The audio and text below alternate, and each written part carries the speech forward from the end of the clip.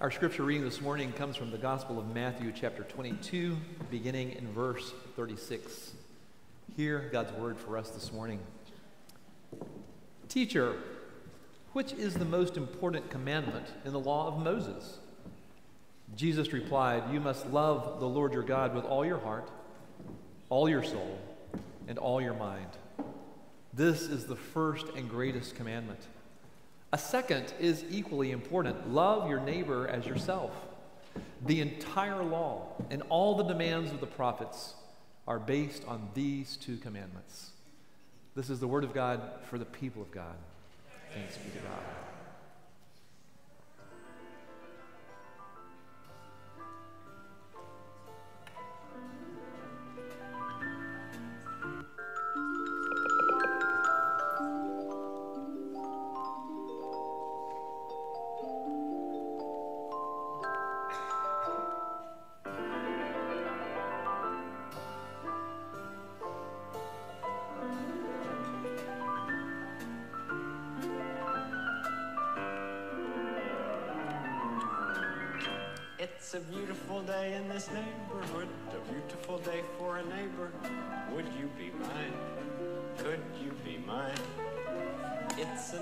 Neighborly day in this beauty wood, a neighborly day for beauty. Would you be mine? Could you be mine? I have always wanted to have a neighbor just like you. I've always wanted to live in a neighborhood with you. So let's make the most of this beautiful day. Since we're together, we might as well say, Would you be mine? Would you be mine? Won't you be my neighbor? Won't you please? Won't you please? Please won't you be my neighbor? My neighbor?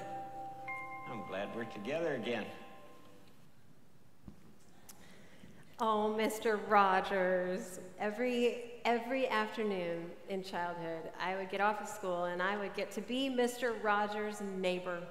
He called every child in our country his neighbor, and he showed you how sweet it could be to be neighbors with such a gentle, loving, whimsical person. But as I grew up and I became an adult, I realized that you can choose your home. Y'all put some thought into that, right? The layout, the size, the school district, the countertops you want. Like you can choose your home with care, but you have no say in who moves next door or across the street. And they're not all Mr. Rogers, are they? No. Um, I'm sure we could regale each other with neighbor stories. I will share two, okay, from my time not here in Spicewood. I was living out in Spicewood, I lived there a decade. And I had the best of neighbors and I had the worst of neighbors. So let, let's start with the best our backyard neighbors, Flo and Larry. Uh, Flo and Larry, the day we moved in, they came over and they welcomed us to the neighborhood, and they said that they were, this was a country neighborhood, so they had been there like decades at that point, and they had a pool. Now, this is the hill country, so to have a pool in all that rock was quite a thing, and they said, We would love it if your little girls and you would come swim in our pool. And as long as they have you there, you don't even need to call us and ask. You can just, we put a gate, and you can just come through the gate and swim in our pool. I thought they must be kidding, like just being over generous. They were not kidding. They were not kidding. They love to have our girls swim in the pool. All the little chirpy, screaming, fighting, everything the girls did, they declared that that was music to their ears. And they were not lying. They, they have become bonus grandparents to my children.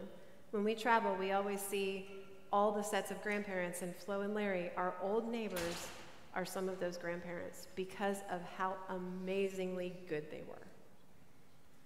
But then there was the people next door. The people next door, um, their home became infested with rats. It was a country, right? So, but still, they had rats apparently falling from their fireplace they had rats scurrying across their home.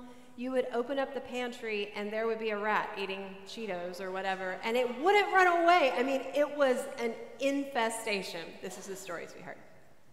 But worse than living next to a home that is infested with rats is the fact that somehow these neighbors decided that we were the ones at fault for their rat infestation. We didn't have rats, right? They had rats. It was our fault somehow. And they wanted us to pay over $10,000 to have their rats removed and the damage that the rats had caused, which was extensive, repaired. Well, we kindly told them we would help them with whatever they needed, but we couldn't and wouldn't pay that amount of money. So they filed on our home insurance a bogus claim trying to get our home insurance to pay for their rat problem. Which then we had to spend hours of time refuting and being like, okay, I mean, our insurance knew, but still, you have to spend hours. The best of neighbors, right? And the worst of neighbors. You have stories too, don't you? Yeah, you do. We all do. Because we can choose our homes, but we cannot choose the people next door or across the street. We cannot choose or dictate their behavior or lack of it, right? Their bad behavior. But our faith and our Lord tells us there is a choice we can make, and that is how we treat them. How we treat those neighbors is central to our faith. Jesus is asked this amazing question. He's asked to take the 613 commandments in the Old Testament. Okay, that's the 10 commandments, and that's all of the commandments God gives the people. That is the scripture in his day. And then a teacher of the law says, which is the most important? Whoo! I'm glad that question didn't come up in our Q&A, right? Which is the most important? Although now I have Jesus' answer. He says, listen, it's not one but two. You love God with everything you are and everything you have. And you love your neighbor like you love yourself. He says, everything in Scripture comes down to these two things God and neighbor. And I love that in our church, we embrace the importance of this. Our mission statement, right? We are a faith family.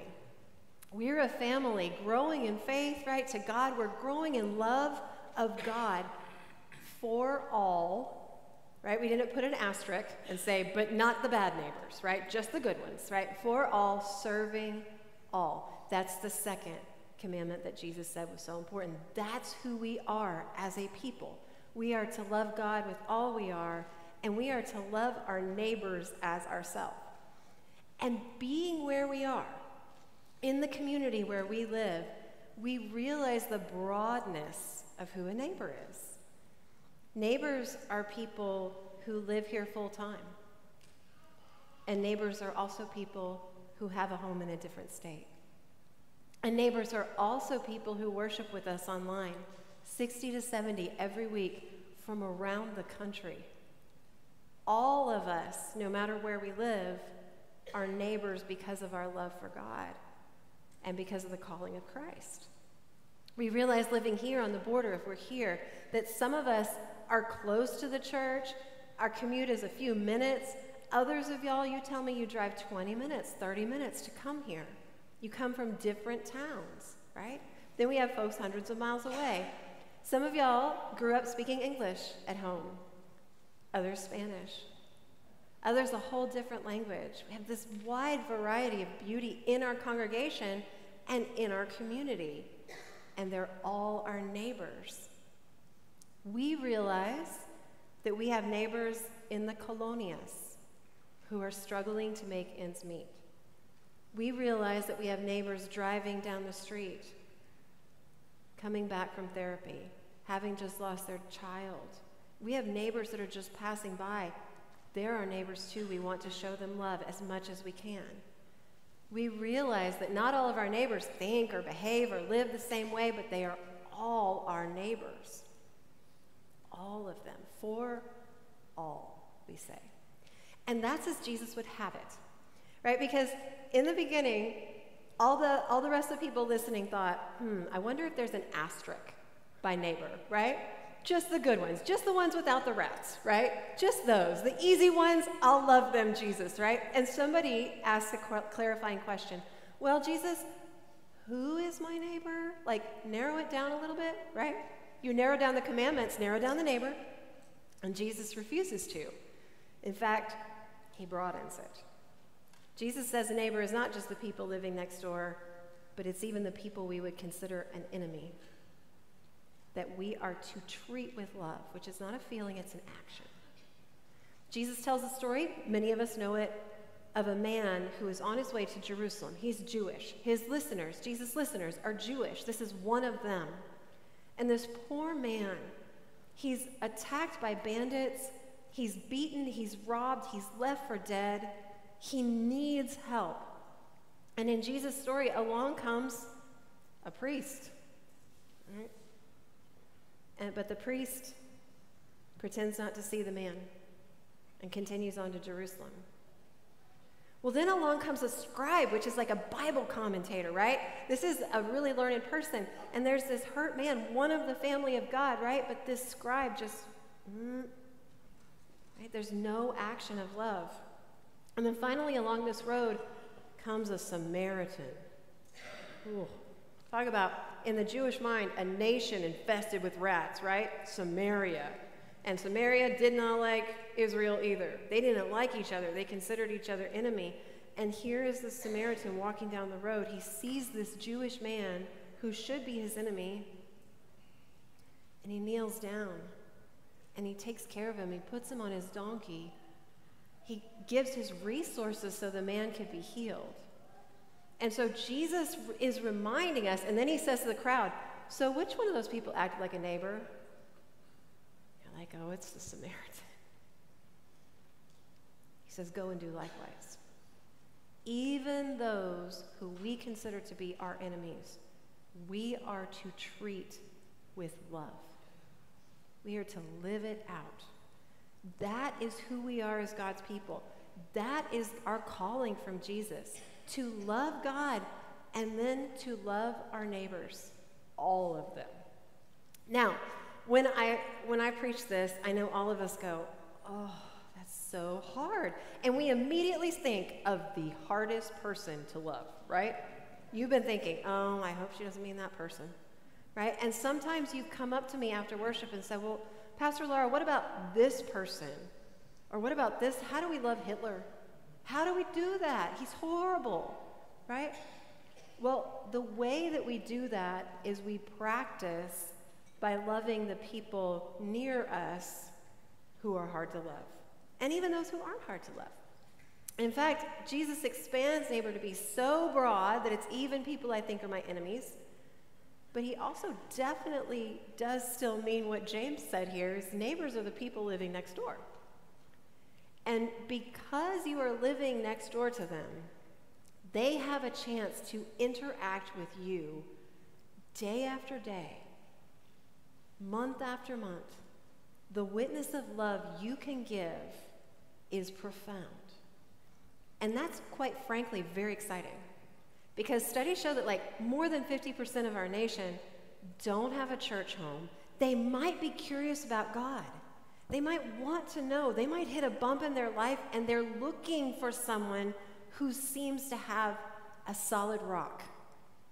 And right next door is a neighbor whose name they know, who loves them, who brings them something. We're going to talk about this in a minute, right? They could ask you. There are thousands of people in this community who will never come hear me preach, never come hear Pastor John preach, never have the courage to be in this church because they might think, oh, they're going to get judged or something. But maybe you live next door. And so the minister that God has on your street is you. Do you hear me? The pastor on your street is you. And thank goodness Jesus doesn't say, here are the two commandments love God with all you are and evangelize your neighbors. Right? It wasn't that, right? What does Jesus say? Love them. We can all do that. All we need to do is love them. That is the heart of our faith, lived out in the world. So I want you to pull out this Who is my neighbor? This sheet. And if you're online with us, then you can make your own. You're going to see it in a second. It's easy, it's nine squares. The house in the center, the free square, we will say, is you. Okay, that's your house. The people on the top, the top row is the people across the street. The bottom row is the people who live behind you. And the two on the sides are your next door neighbors. Now, I know some of y'all back up to a green belt or live on a cul de sac or you've got a wall behind you, so, or you live in an apartment. Get creative, okay? But think of who these eight boxes are for you in your home. Get creative. If you live out on acreage, get creative, okay?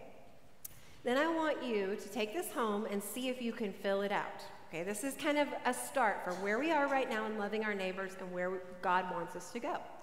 You're going to put down three lines. Here they are. So you might want to take, take notes so you can see how far you can get in this.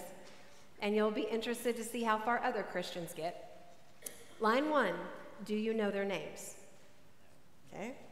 Do you know their love has to begin with just knowing somebody's name, right? Do you know their names? Line two for every house. Do you know something about these folks that you wouldn't know from standing in the street? Something a little bit more about them. Okay, line three. Do you know something deeper? Something about their hopes or their dreams, a struggle they're going through, something in their past? Do you know something meaningful in their life? So I want you to take this home and see how you do. Okay? And I want you to bear in mind that when Christians around the country, and Christians around the country have done this, only 10% of believers can fully fill out line one. So 90% of us can't finish line one. Okay? Line two, only 3% can tell you something about their neighbors that they wouldn't know from the street. And this is Christians, okay? And then when you get to line three, do you know something more about them? Less than 1% will know that thing, a dream or a hope or a struggle that they're going through.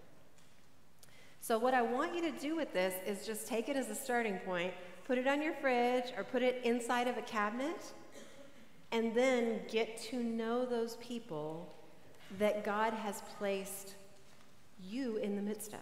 You are God's witness. You are the one that will love them. Get to know them. This is fun. You, um, some of y'all are amazing cooks, or you grill amazing things, or you bake, make a little extra, and take it to a neighbor when you do. Hey, I made a little extra. Here's some for you. I happen to know that this works because I have a neighbor who did this for us okay? I'm an early to bed kind of a person. I go to bed, even though my kids laugh at me, around 9 or 9.30 because I'm up at 5 or 5.30, so I'm, I'm in bed early.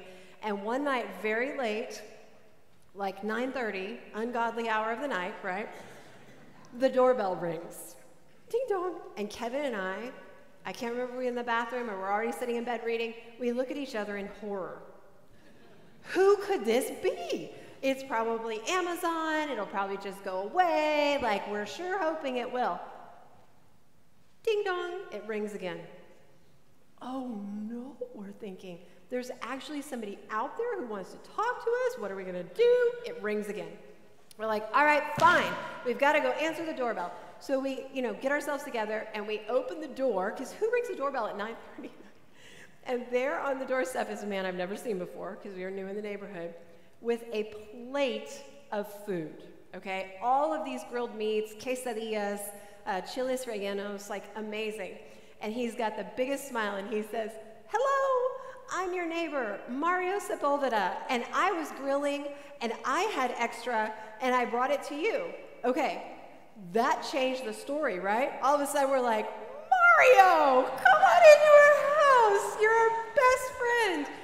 Um, all the kids come out of their rooms. What's going on, right? Mario Sepulveda. I could tell you his name from here to eternity. He'd be like, you can remember it by Super Mario, right? So cute. Anytime the doorbell would ring at 9:30, 10 o'clock, we'd be like, oh, it's Mario. Then we'd run to the door and we'd get the food that Mario was sharing with us, right? Now, friends, pick a better time than 9:30 at night, okay? But even if you go at 9:30 at night, if you have something delicious, you will be welcomed. You, no one will, will be angry at you, okay? If you pick a better time, even better, right? Maybe you say that you're not a cook or you don't grill. Um, what I did for Mario is I have a garden. And I had buku tomatoes one year, that first year I moved here. And I just took them to all my neighbors. I rang the doorbell. I have tomatoes, right? It helps me get to know my neighbors. Um, maybe you knit. Maybe you work with wood. Maybe you're handy. I have another neighbor, Rolando. We have a WhatsApp. And people were talking about sprinklers that go into the street, right? Got to stop this, sprinklers that go into the street. Well, Rolando goes, Neighbors, I understand how to set your sprinklers, and I will come help you for free if you need help with your sprinklers. I was like, beep, beep, beep, Rolando, hi. It's Laura. I'm your neighbor, and I need your help, right? So if you have something like that, and you do, use that to get to know the people around you. Take walks, right? Sit in your front lawn. And when people pass by, tell them hello, smile at them. That's love, right? Give them your name. 90% of us are only faking it when we pretend to know our neighbor's name, right? 90% of us don't know the name, but we're faking it. So give them your name and then say to them, if you don't know their name, I'm so sorry. I know you've told me your name and I have the worst memory. Could you tell it to me again? And they'll give it to you and you run in and write it on the list, okay? Then you won't forget, right? Write it down. That's who lives there. Then when you see them again, you can say, Oh, hello, Mario. Oh, hello, Rolando, right? Beginning to love our neighbors begins with knowing their names and then knowing something about them. That is the ministry area, your home, one of them, where God has placed you. And we remember as we love our neighbors, we are living out what Jesus said was one of the greatest commandments, right? One of two, we're living that out. It reminds me of a friend of mine who pastors in St. Louis. Um, as you know, St. Louis is a city that has a lot of problems. Um, it struggles a lot. And all of the pastors and all of the faith leaders were meeting with the mayor of St. Louis. And they were having this meeting about their town and about what they could do when one of the pastors asked, Mayor, if you could say one thing that we as leaders, faith leaders, could do that would change this city, what would it be? And the mayor thought about it and then he said, Teach everyone in your congregations to be a good neighbor. And that can change our city. That's after all what Jesus said, isn't it? He said our faith, all of our faith can be summed up into loving God and loving our neighbors. All of them. You are in that home, in that apartment, you are in that RV for a reason. God has people all around you, in the back and on the sides and in the front, who you can be a witness to a witness of love. Friends, when you do this, it changes the place where you live, pours in God's love to that place. And look around at the hundreds who call this church home. When all of us do this on our blocks, on our streets, on our cul de sacs, in our RV parks, when we all love our neighbors, that just might change the world. Jesus thought it would. Let's pray. God, we love you. We love you and you love us. And maybe we've never thought about it, but you put us in that home, in that RV, in that place, in that apartment. And the people next to us are the ones that we can show your love, unconditional love to, day after day. Help us to grow in knowing our neighbors so that we can grow in the love that we are able to show them. Thank you, Jesus, for telling us what matters most and help us to be faithful in living it out. In your amazing name we pray. Amen.